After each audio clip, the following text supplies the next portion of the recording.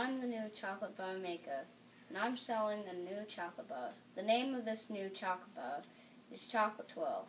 It is so good. The ingredients are chocolate chunks, sugar, brown crispy chocolate, milk, marshmallows, peanut butter. They're so good. They're the size of a lobster.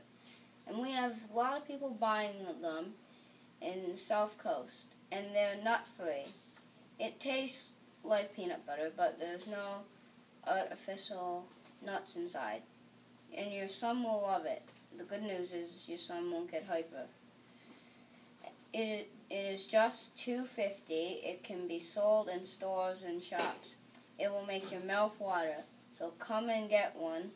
And when you get one, you can get give us the wrapper and get another one free. Go on your computer and like us. We are the best chocolate twirl. That's us.